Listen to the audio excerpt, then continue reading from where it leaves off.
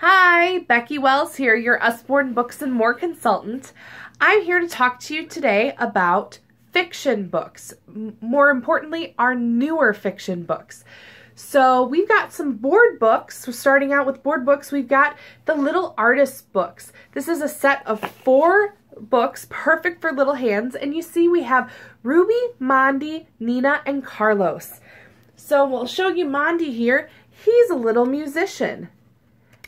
And they just perfect. This size book is perfect for your little hands. And I love that all the kids are multicultural in there. Great diversity in those books. So, okay, we have an I Want to Be a Astronaut. This is part of a new series. We also have I Want to Be a Lion Tamer. But it's all about imagining what you want to be when you grow up. I, I can be anything, a spy, an astronaut, a deep sea diver. I love that there's both a boy and a girl featured in this book. And I love how they actually have the girl in some science fields, like in The Lion Tamer, she's a vet and a marine biologist. We need more of that in our society, teaching our girls they can be whatever they want. Okay, peek inside a fairy tale, Little Red Riding Hood. Wonderful, just like our peek inside fact books we have a story this time. We have cutouts, so much thing, so many things to feel in the pages, gorgeous illustrations, and even some flaps. Talking about our compilations, we have two new ones. One's five minute stories, and this is 10 10 minute stories. We have um, Beauty and the Beast in here, The Tin Soldier, The Story of Pegasus, The Firebird, The Sorcerer's Apprentice, Pinocchio gorgeous illustrations, um, perfect stories right before bedtime. Okay, I think this is my favorite. We just got this for my daughter for Valentine's Day. The Usborne Illustrated Alphabet. Comes in a slipcover. It's a cloth-bound book with a little uh, bookmark, ribbon bookmark but it's everything you want in an alphabet book. It has both uppercase and lowercase. It has A is for alpaca, and I love that they're not always the traditional. But then there's a story with it, and look at this gorgeous illustration. This It was a bad day for the animals at Alphabet Zoo, and it began with the alpaca when the alpacas ate all the apples. So this little short story on each page is full of words that begin with that letter, plus Around these letters here, you have other images that you can spot. Airplane, ant, apple. Here's another page so you can see. Gorgeous. And like I said, everything you want in an alphabet book. I'm a hungry dinosaur. Are you familiar with I'm a dirty dinosaur? Here's a companion. This time, instead of illustrating with dirt, the illustrator used icing, cake batter, and sprinkles. So great for any little budding chefs in your household. Too Many Tomatoes is our new book from Eric Ode.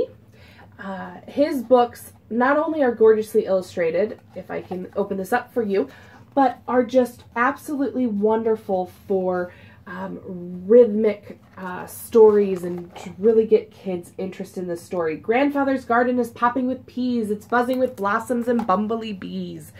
It's bursting with berries and beans and potatoes and tall twining vines of too many tomatoes.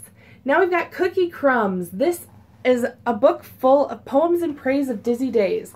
You know, did you know there was a National Hat Day? Or how about National Look-alike Day? Or Happiness Happens Day?